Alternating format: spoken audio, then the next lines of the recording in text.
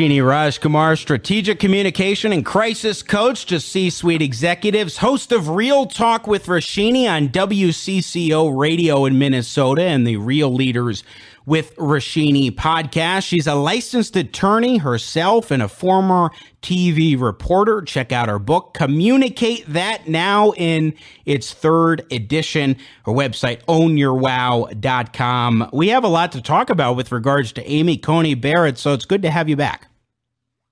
Well, thanks so much. And, you know, anytime there's anything involved with the Supreme Court of the United States, it really brings me back to my law school days and always my love of the Constitution. And I really love it, and I know you do too, when the Constitution is front and center on American television because it gives a lot of people the civics lessons that they don't really have or they forgot about. That is exactly right. It brings us more focused on what this country is about. I want to play a clip. This is one of the examples where Amy Coney Barrett, judge on the Seventh Circuit, President Trump's nominee to the United States Supreme Court, said something that, well, I could resemble given that my mother's name is Amy. Here's a sample of Amy Coney Barrett expressing her judicial philosophy.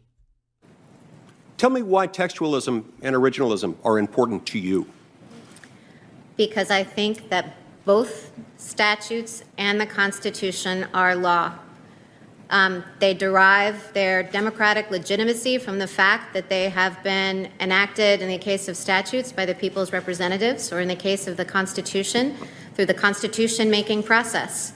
And I, as a judge, have an obligation to respect and enforce only that law that the people themselves have embraced. As I was saying earlier, it's not the law of Amy, it's the law of the American people. And I think originalism and textualism, to me, boil down to that, to a commitment to the rule of law, to not disturbing or changing or updating or, you know, adjusting in, in, line with my own policy preferences what that law requires.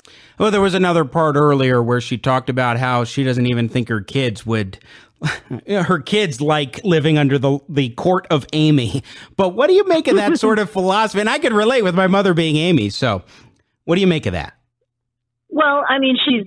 I would agree with what she's saying as far as the role of a judge, especially, is to really respect what the rule of law is, and the rule of law in this country is really the American people. You know, all people that we elect into office who then in turn are part of the process to bring Supreme Court justices to be.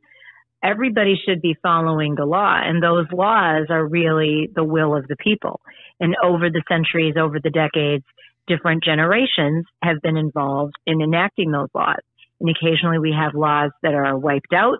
We have court cases that you know, that uh, reverse previous court cases or that break precedent, but that is never really the role of the judge to do or the Supreme Court or courts in general to do.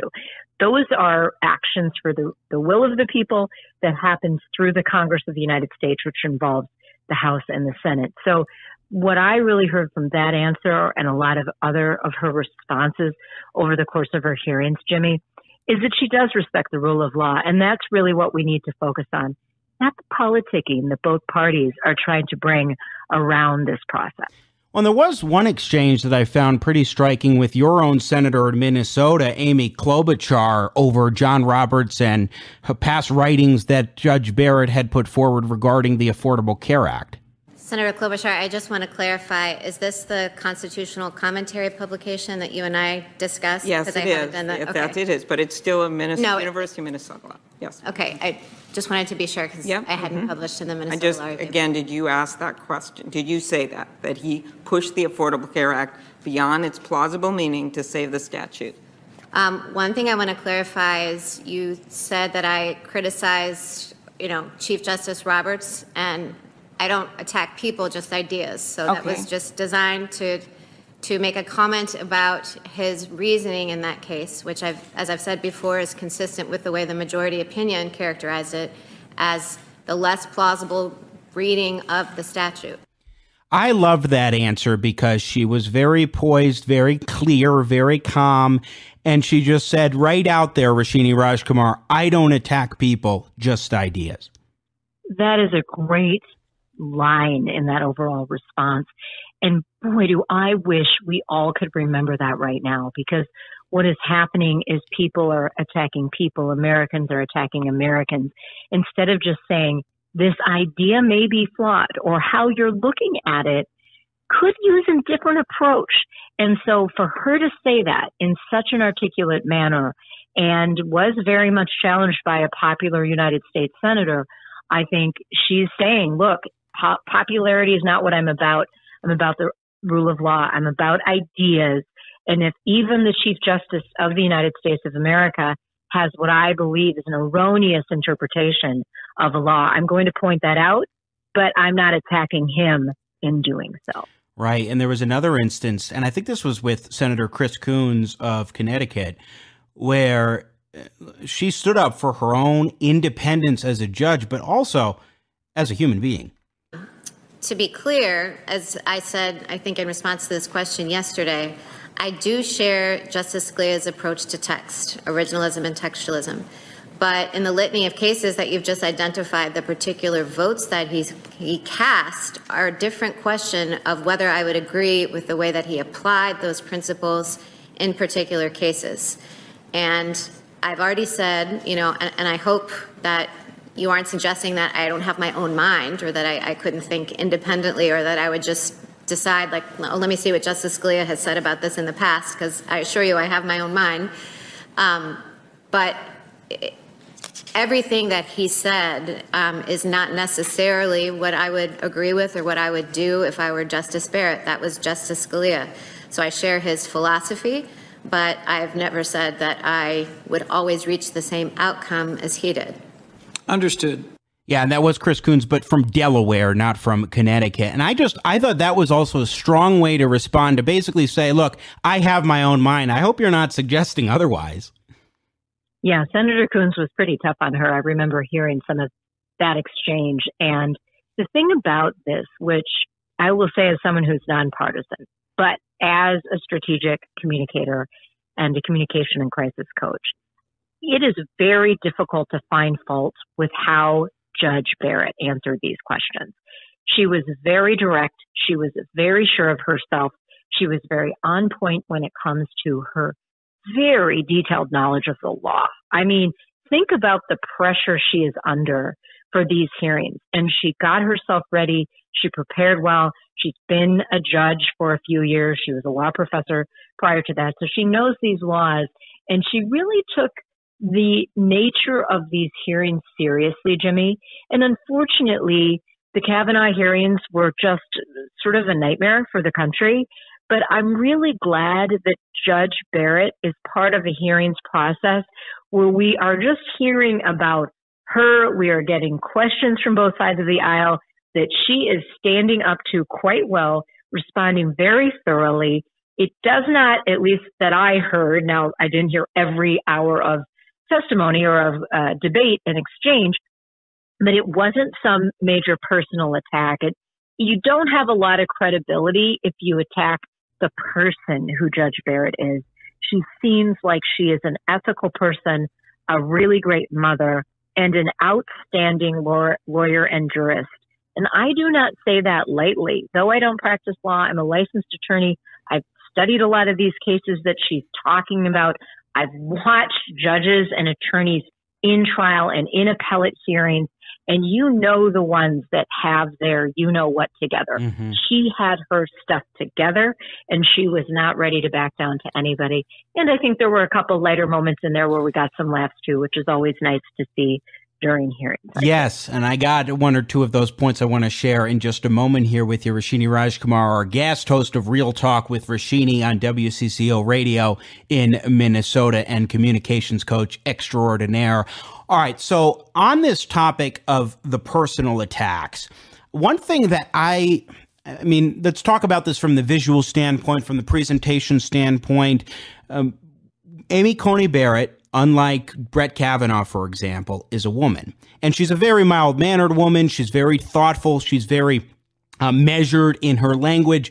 I think that if the Democrats were really going to try to tear into her very harshly, that it would not play well. And indeed, I think that she has come across to average Americans extraordinarily well with the way that she has conducted herself in these proceedings. And so I, I think that that's part of the reason why we didn't see, we saw some biting criticism, some very strong back and forths between Judge Barrett and the Democrats on the committee.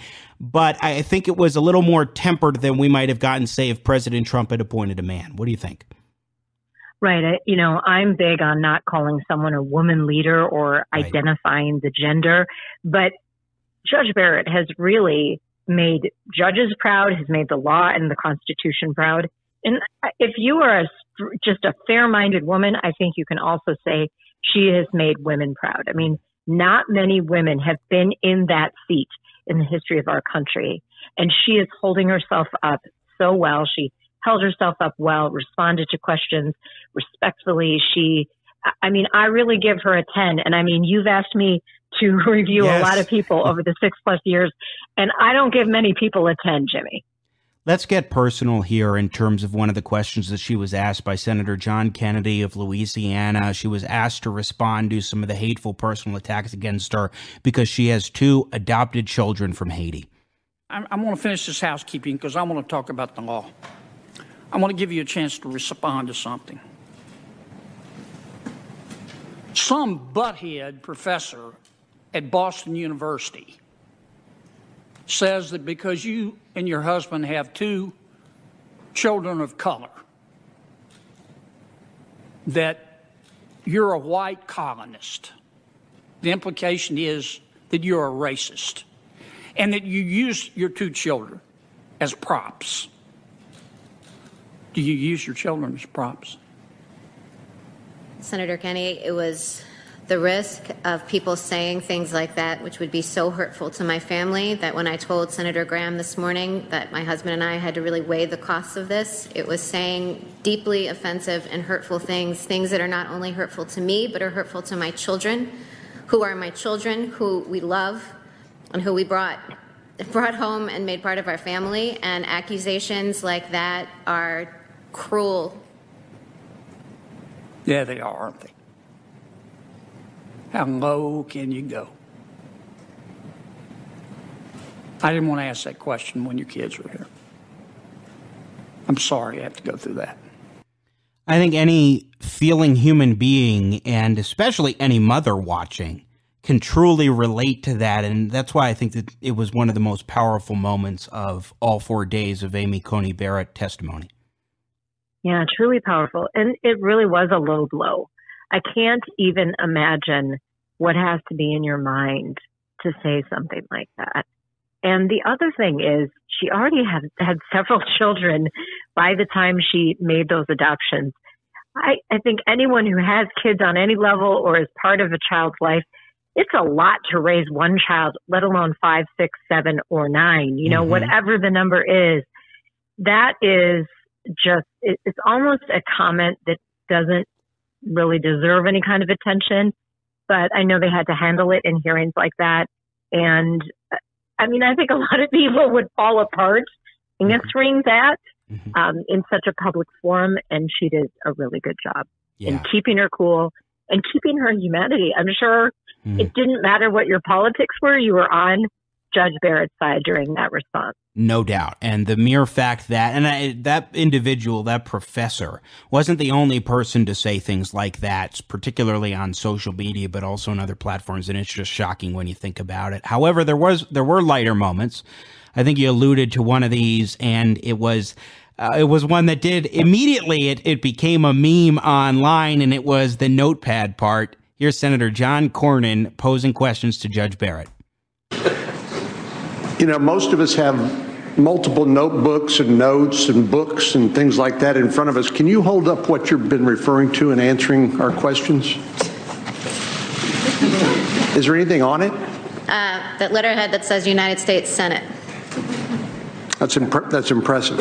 It truly was impressive, extraordinary that she was working off of no notes throughout these days. I mean, I don't know if later on she eventually put a few notes down, but she actually showed a blank notepad, and that truly shows that she's on her game.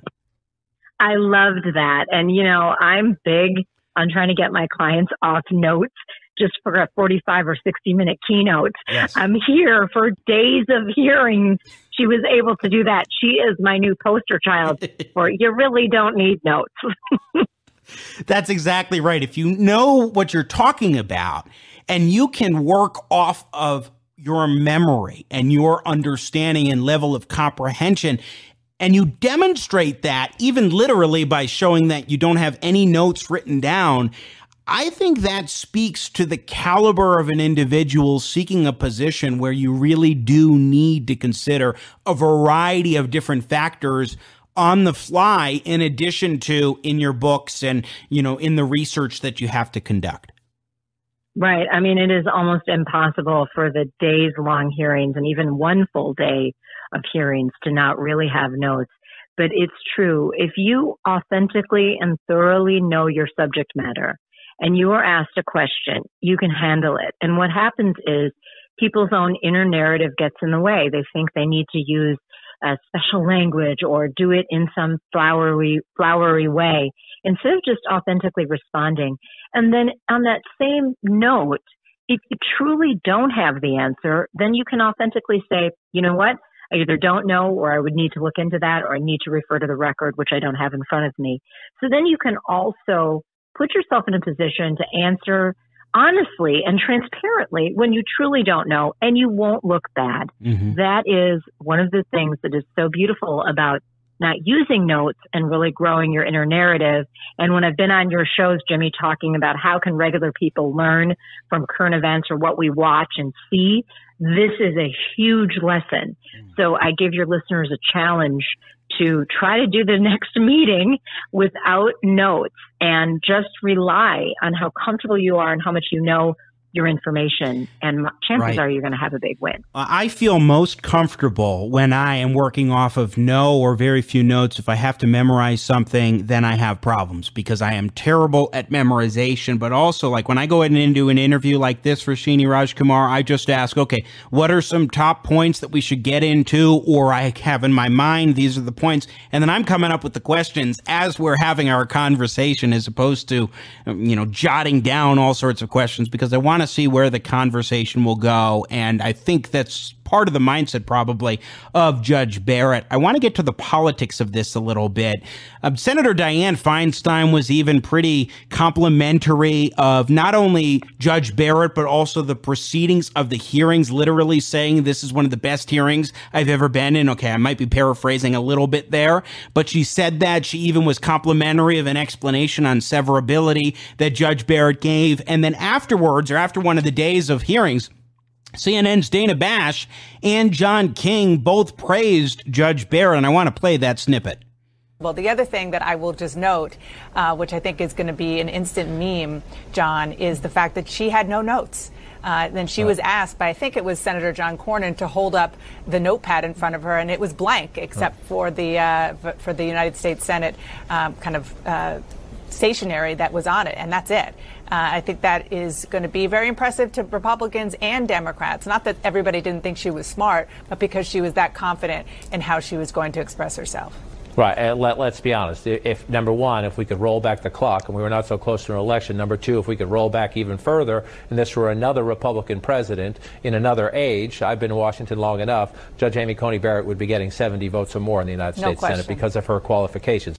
Andrea Mitchell over on MSNBC also gave praise. So, as we wrap up with you, Roshini Rajkumar, how do you view the politics of all this, especially in light of how effectively Judge Amy Coney Barrett conducted herself throughout the hearing?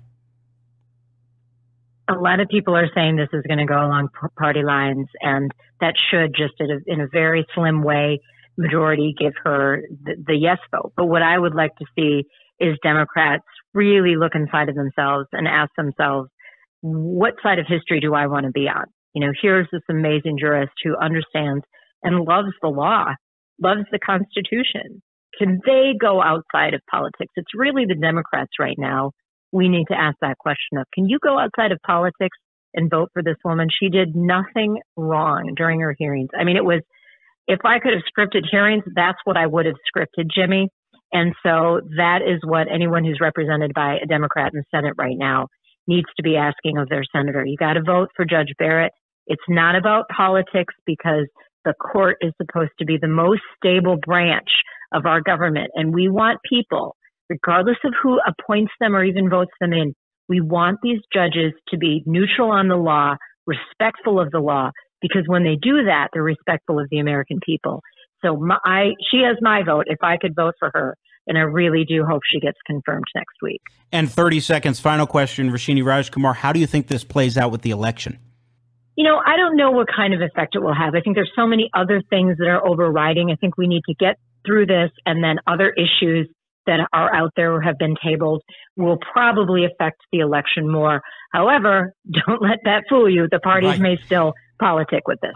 Yeah, well, and I certainly think that for a lot of conservatives, it revs us up and gets us ready to go. It's the number one reason why I voted for President Trump in 2016 and is very much delivered. Roshini Rajkumar, host of Real Talk with Roshini on WCCO Radio and the Real Leaders with Roshini podcast. Check out our book, Communicate That, and website ownyourwow.com. Always great to check in with you, my friend. Thanks so much for your insights as an attorney and someone who really understands communication strategies. Thanks so much, Jimmy.